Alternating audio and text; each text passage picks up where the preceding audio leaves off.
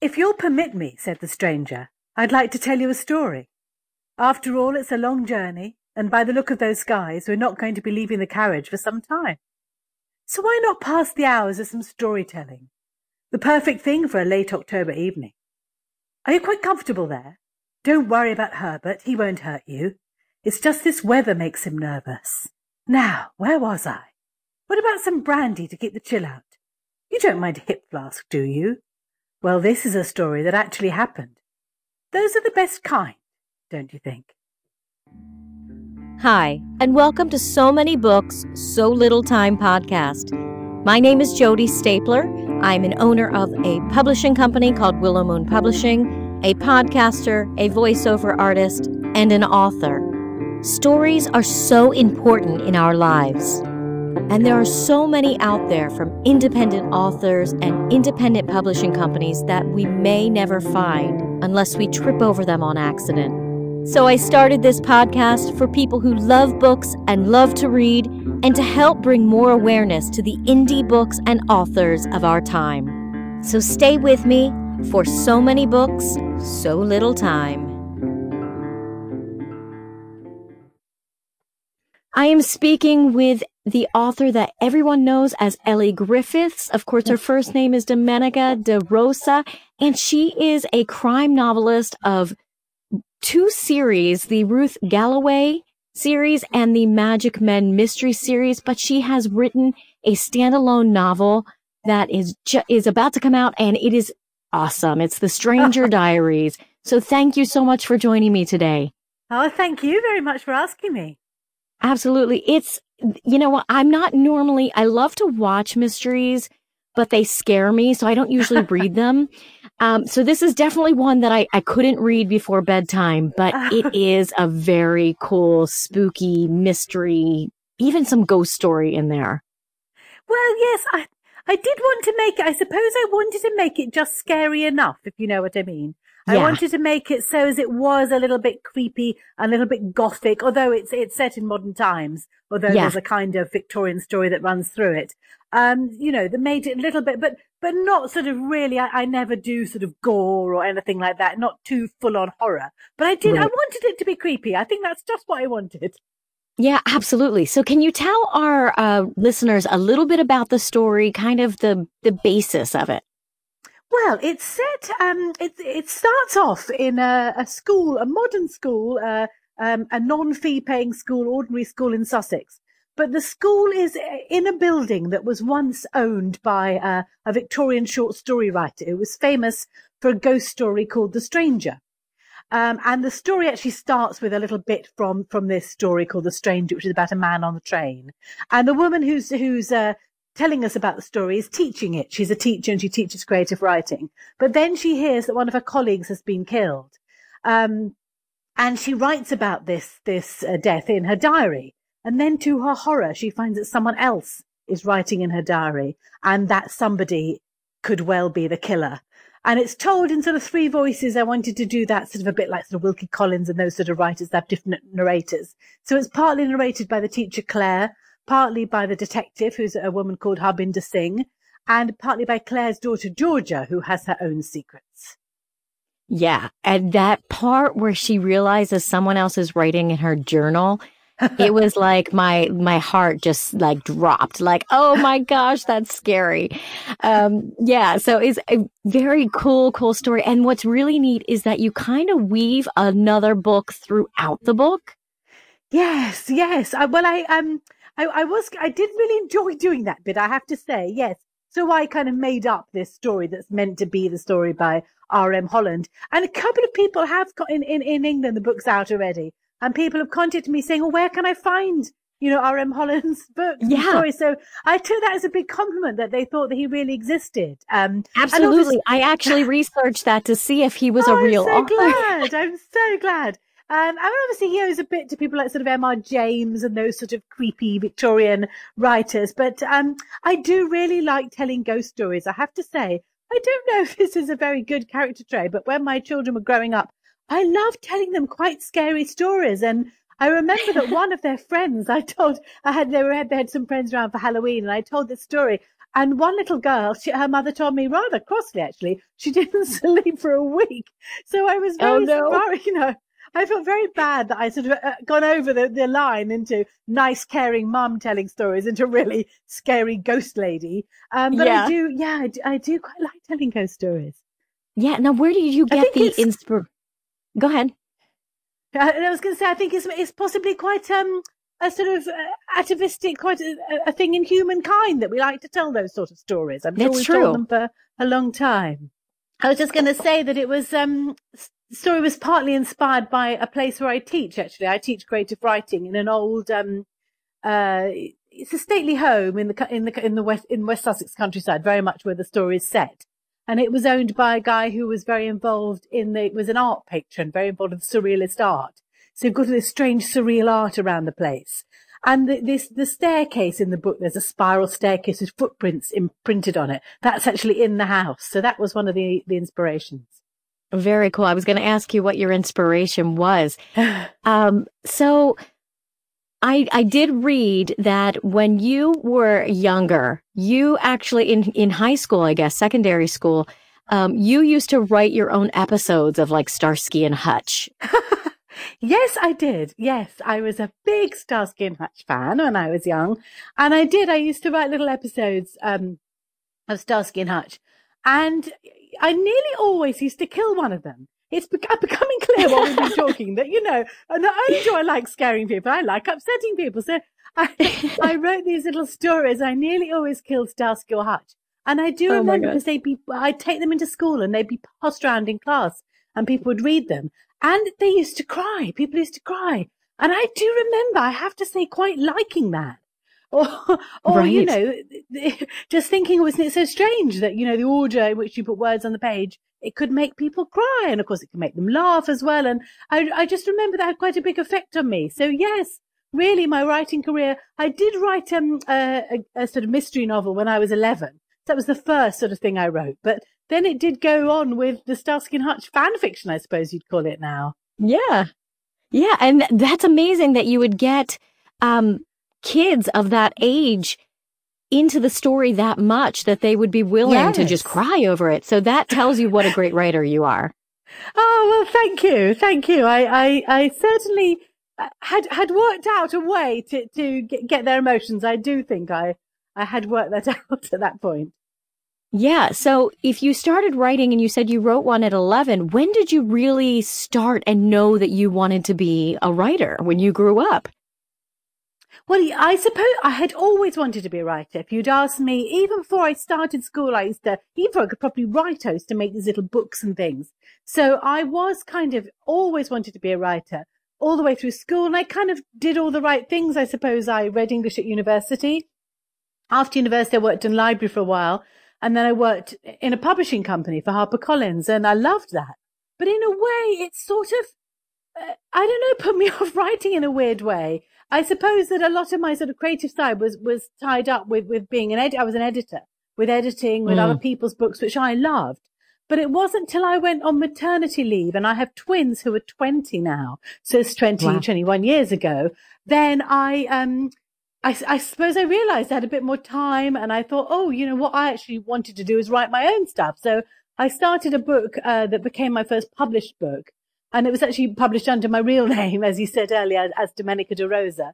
And it was called The Italian Quarter. And it was based on my dad's experiences as an Italian immigrant in the, um, in the war.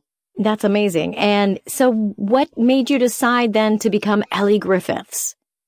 Well, what it was was so after I'd written the Italian Quarter, and obviously it took me a lot longer than you know my maternity leave to write it and to get a publisher and all those things. But eventually, I, I did get an agent and a publisher, and I published another three books, all sort of. I don't like the phrase, but they're of course of women's fiction. You know, they're sort of about relationships and, and place and a bit about history. Um, and then, um, I suppose what really uh, inspired the change was that my husband Andy, uh, he'd been a lawyer Mhm. when I met him. He suddenly, well, not that suddenly, because I'd had known that it might happen, decided to change career and become an archaeologist. Um, you know, Wow. something he'd always wanted to do. uh, it was a bit of a shock. I had to remind myself of something Agatha Christie said, apparently. She said, it's a good thing to be married to an archaeologist because they only get more interested in you as you get older. so very true. Anyhow, so he went back to university and became an archaeologist. And I suppose I just became very interested in that. And um, I remember one day we were walking with, with our kids who were quite young then across the marshland in Norfolk. And Andy said that, um, uh, mentioned that prehistoric people had thought that marshland was sacred because it's neither land nor sea, but something in between. They thought right. of it as a kind of bridge to the afterlife, you know, neither land nor sea, neither life nor death, a kind of in between place, a liminal zone. And that's wow, why you yeah. find bodies buried there, you know, the so-called bog bodies. Yeah. And like the bog, just, yeah. just a sort of, yes, exactly. Some, a sort of fire lit in my, my brain. And I immediately thought of the story of the crossing places, which is the first Ruth book. And, and it was like I saw Ruth sort of walking towards me out of the mist. And that's never really happened to me before or since. I sort of knew her immediately. So I sat down and wrote the book, but right up to that point, I hadn't really thought of it as a different genre, you know, because it had a lot of the same things that my other books had. It had, you know, strong sense of place and female main character and all that. But when I showed it to my agent, she said, oh, she said, oh, this is crime. You need a crime name. So, hmm. so, and I think her thinking was that Domenica De Rosa is, um, well, for one thing, it does sound made up, which is weird because it's my real name. But also, right. but also, it's very romantic, isn't it? It's like a romantic yes, novelist is. name. And I, yeah, I think she thought it just wasn't gritty enough. So I chose Elly Griffiths because it was my grandmother's name. She was Ellen. Oh, very nice. So I, I thought I'd choose her name.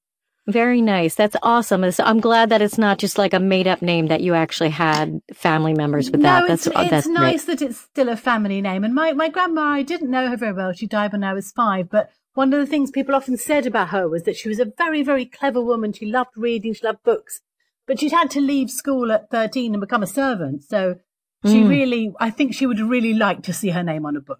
That's yeah, what, what a great way to memorialize her. Yeah, I hope so. Yeah. So now this one is a standalone novel, although I have to say I could see you writing series with it. Um, why did you decide to just make it a standalone? Well, I'd written uh, 10 books in the Ruth Galloway series. So the 10th one was uh, The Dark Angel. And I'd always thought there would be just 10 books in the series, although I have to tell you, I've written number 11 now and it'll oh. be out in the oh. States later on this year. Wow. So there are going to be more. But uh, at that point, I think I just sort of wanted a bit of um, a break and a bit of a change. Um, and I'd had this story sort of, you know, bubbling away in the background for a while. And there was a day do you, did you have that um, in the States the day when the sky went all yellow? Because there no. were, it, it, was to do with, what was it to do with an ash cloud, I think, in, in, in, in Norway. Oh, I remember the news talking about that. Yes, yeah, but no, we didn't have it have really it. Weird, a bit like the red sky you had the other night in New York. yeah. you know that sort of thing where you think, "Oh, this is so spooky," and that yeah. day, I, I, I suddenly thought of the way to start the Stranger Diaries with, with the, with the actual, uh, story, The Stranger. So I sort of started to write it down. Um, so I wanted it to be a standalone, I suppose, because I was thinking that in a way it would just give me freedom. I could write anything I liked. But, um, mm. and it was very liberating. But I have to say, I have since slightly wanted to write more about Harbinder, who is the, the yeah. police woman in it. Yeah. That's so exactly who I thought would be again. a, right. Oh, I good, think she good. would be a great character to keep going. Absolutely. Oh, um, good. Um, one of the great things about this story is that, okay, so Clare is the teacher and she keeps a journal, as you said, and you really kind of get to know her by reading the lines of what she writes in the journal. Um, but she's also very much into this R.M. Holland and she's teaching him and the, this author who wrote The Stranger. And when her colleague is found dead, one of the lines from his book that she is always talking about is next to the body, which is hell is empty. yes. And it's, it's such, um, I don't know, it's kind of even a spooky sentence. So where did you get this? Where, where inside you do you have this? well, I'm a, I'm, my, my kids were actually doing A level uh, English at the time and they were studying The Tempest and it's a line from The Tempest. And I okay. don't think you think one thinks of The Tempest as being no. a very scary play, but there is this very frightening line in it. Hell is empty and all the devils are here. Um, and I thought it would be good to have it because near, so many um, English students uh, study The Tempest, and of course Clare Yeah. is an English teacher, so that that meant that the suspicion, uh, you know, pointed a bit towards her and her colleagues because she's got some slightly strange colleagues. Um, and also it fitted well because this line obviously occurs in in the short story, uh, The Stranger. So I I just love, you know, I, I, th- there are some wonderful lines in, in, in Shakespeare. The, the lines that I always used, I always think have got about 10, um, mystery titles in them are The Sleeping and the Dead are but as pictures. It is the eye of childhood that fears a painted devil. And that's from Mm. Macbeth. But just in those two lines, there are about 10, you know, The Sleeping and the Dead. I'm sure that's been used before. Painted devil, eye of childhood. There's so much in there, isn't there? It's amazing. Yeah. Yeah. You've got the brain of a genius Oh no, I haven't. to, to, I'm to see, to hear those lines and to picture lines. yeah, to to be able to come up with so many other things and to think that it's just amazing. It's so impressive. Oh well, I, I, you know, if you were to ask any of my family whether I had a good memory, they'd say no because I'm always forgetting like appointments and te- telephone numbers and stuff. But I, that is the thing that I do have quite a good memory for lines and for um for poetry and anything that I've read or that I've particularly that I've studied. It does stay there and sort of go round in my head, and and I think that is quite a quite an advantage for a writer. Absolutely. Now, and it's obviously been working for you for sure um, with your writing. Um, now, you seem to have this um, a lot of detectives in your books, and do you find yourself to be that kind of person? Do you do you research people and things like that? Like, are you someone that's going to go online if there's someone new in one of your daughter's lives and and do detective work? Uh, no, but no, I must admit, I'm, I'm quite good about not doing that in their, That's their good. private lives. But, um, I do like a mystery. I do like solving, uh, and I like, you know, I'm like a lot of us, I like crosswords. I like puzzles, you know, I, I'm- I, I love, you know, watching a nice Poirot on television and trying to work it out. Although occasionally that does, because I also, of course, remember who did it in most of them. But in a couple of recent adaptations, they've changed who did it, which made me look Hmm. very silly when I was telling the whole family, I know who did it. But, but I do like, um, you know, I do like mysteries and I do like, I do like that sort of, uh, you know, solving something. I, I, you know, especially if the clue, as it often is in, in Agatha Christie or something, is maybe something that, that, that's a word or a phrase or something. I particularly like that. Yeah. Yeah. And that's what I really love about this story because, like you said, there's not the gore. It's more of a thought provoking story where you have to really kind of read between the lines and figure things out. Because as Clare is kind of considered the murderer in the beginning, or you're kind of thinking, was it her? Yes. Then you find Yeah. out this journal w- has been written in by someone else, which then makes you worry about Clare. So that, Yes. I love that. I love that. Oh, good. I'm so glad.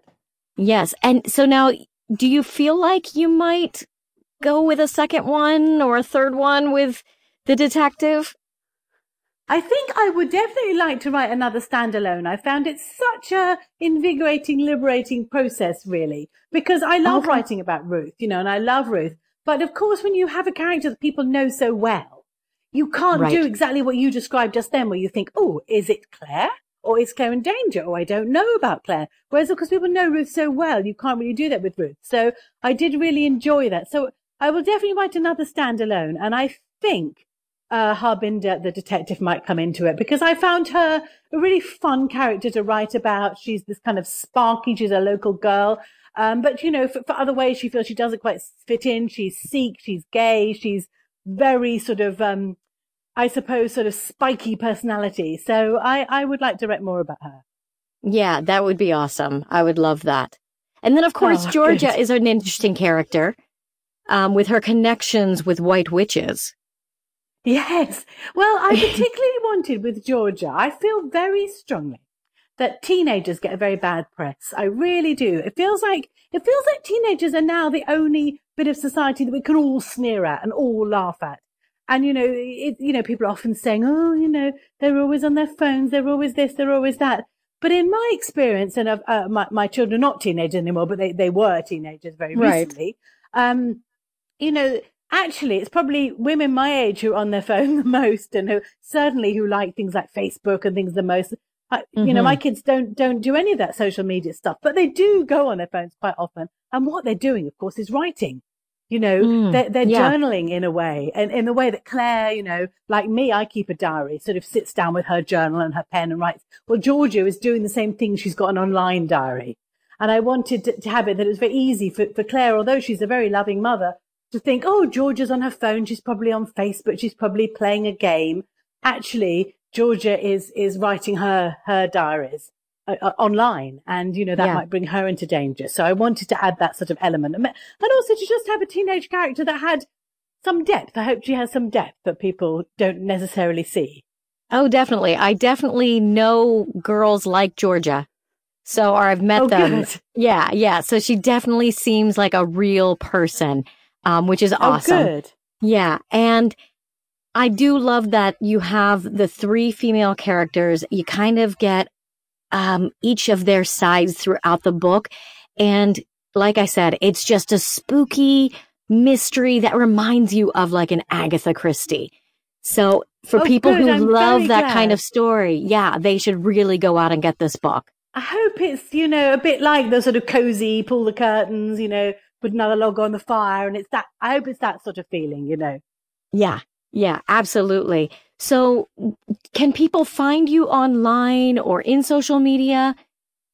Yes, sure. Yes. Um, I've uh, got an Elly Griffiths Facebook page. I'm Elly Griffiths on Twitter and on Instagram. And I absolutely love to hear from people. So please do get in touch. Oh, perfect. And do are you doing any kind of book tours or anything like that? Are you coming over to the States at all? Well, I hope to come over. I was actually over last year. I was in Florida for Bouchercon, which you know is the big crime writing festival. And that was in um, St. Petersburg, Florida, which was so beautiful and lovely. And I did, I was so lucky because I did a little tour afterwards with two other writers who I didn't know before, but who are now really firm friends, uh, Amy Stewart and Mario Giordano. And all we had in common was that we had the same um, American publisher. But we went on this kind of road trip together and we had so much fun. I can't tell you. It was really great. So I'm hoping to meet up with them at some point. So I haven't necessarily got anything planned for this year, but in 2020, I will definitely be over in the States and we'll be doing some touring. I want to thank Elly Griffiths, also known as Domenica De Rosa, for joining me today and talking to me about her mystery novel, The Stranger Diaries. What an awesome read! And I want to thank you for joining me on So Many Books, So Little Time. Let me know what books you're reading, what authors I should interview, and give me your suggestions and comments. If you appreciate our podcasts, books, music, and our goal of helping others fulfill their artistic career dreams, and would like to see it continue for many years to come, please join our Patreon and become a sponsor at Willow Moon Publishing. Make sure you subscribe to So Many Books, So Little Time podcast so that others can find me and all the great indie books and authors that I'll be sharing throughout this podcast. You can join me on Facebook, Instagram, and Twitter at So Many Books, So Little Time podcast. And you can check my website out at jodystapler.com or email us at so many books podcast at gmail.com. Thank you for joining me and come back next week when we delve into another story.